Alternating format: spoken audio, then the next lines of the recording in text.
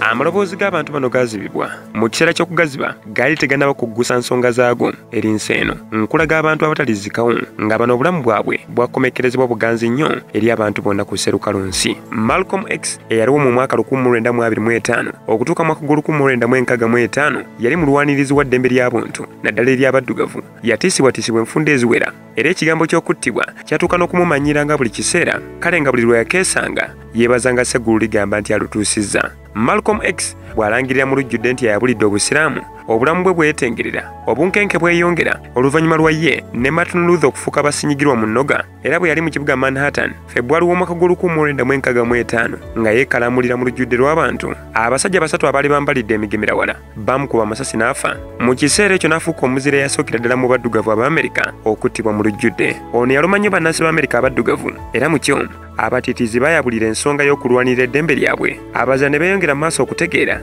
nti engabo bagirumisizza mannyo. Benazil buto yaliwo mu mwaka gw'olukumi okutuuka mwaka gw'omukumi yaliko katikkiro w'eggwanga lya pakistan era nga ye mukyala eyasookera ddala okusitukira mu folino ery'eggwanga ly'abayisiraamu benazir buto yali muganzi nnyo eri abantu era ng'abasinga bamweyitira nakampaate ataluma mu bigambo bye. Lumu yali ku katuuti ng'akuyegera eky'okuyingira palamenti y'eggwanga erya pakistan desemba nga 27 omwaka 2007 bw'amala okwogerako n'abantu n'ayingira mu mmotoka ye eyali teyitamu masasi yafuna ekinyegenyege ekyokwagala okuwubira ku bawagizi be. Kati bw'ajjayo bwenyi ng'akozesa akadirisa akali mu kasolya k'emmotoka yakubwa amasasi agawerera ddala bw'atyo n'aserengeta ku lukuusi. Abakabondo ka al qaida baavayo ne beewaana okumutta. Era okwekalakasa kwatandikirawo nga tebakikkiriza nti ba alukaida be bali bakulembeddemu okuttibwa kwono wabula nga bagamba nti kiyinza okuba nga kirimu obwekebereze obwa bannansi b'eggwanga lya india. John lennon eyali omuyimbi omuganzi ennyo mu ba beatles yattibwa ng'ensi ekyamwetaaga.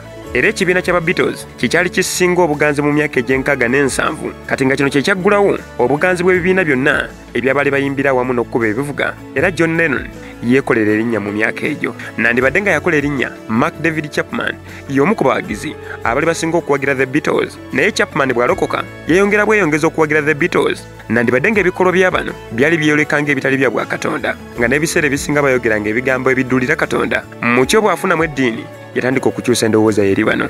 Okuva ddala mu mwaka 1966 lennon yali akimanyi bulungi nti muganzi ennyo eri abantu lumu aba ayogerako eri bannamawulire yategeeza nti teri muntu asinga buganzi nga ba beatles namukyo n'atangaaza nti nandibadde nga yesu yabeera mu myaka eyo egyayita the beatles emusingira ddala obuganzi n'ategeeza nti ne bwaba katonda bamusingira ddala okwagalwa better or greater or compare enough with Jesus Christ as a person or God as a thing or whatever it is.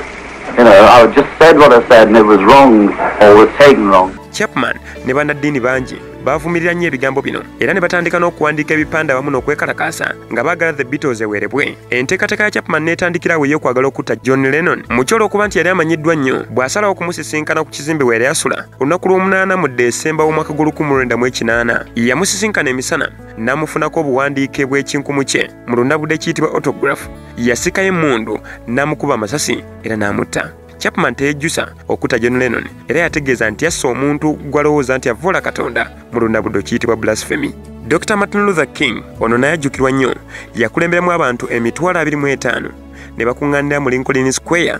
Mu lukuŋŋaano olukyasinza okubeera olunene nga luyitiddwa omuntu omu mu ggwanga eryo. Era yategeeza bannansi b'eggwanga lya amerika nga n'abasinga baddugavu nti alaba emirembe. Wakati w'abaddugavu n'abazungu naye nandibadde nga yalangirira emirembe teyagirabako. Yattibwa omusajja ayitibwa james olrey mu kibuga memphis mu ssaza lya tennessee ng'ayimiridde ku lusebenju lwa woteri mwe yali asula. Era enfa ye yaviirako ebibiina bingi by'abaddugavu okweyongera okuganja n'amaanyi. Nga mu byo mwalimu n'ekyaba black panthers omwali abaddugavu abasinga obumanyifu ennyo nga ku bano kwaliko nnyina w'omuyimbi tupak shakur gatako n'omuyimbi tupak shakur. John f. Kennedy yattibwa novemba nga 22 omwaka gw'olukumi ensasage ey'okutta john f. Kennedy yatwaliramu n'abooluganda lwe era nga buli wa luganda lwe eyavangayo okwagala okwesimba ku ntebe y'obukulembeze yattibwanga nga neyasookera ddala yali bobby kennedy eyattibwa omwaka gw'olukumi bwe yali ng'ayagala okwesimbawo ku ntebe y'obukulembeze era mu kyo ng'avuganya john f. Kennedy yali ayingira mu kibuga dallas mu ssaza le texas. Omusajja lee harvey oswald yamusindirira amasasi mu mutwe n'amutta. Bw'amala okukwatibwa lee oswald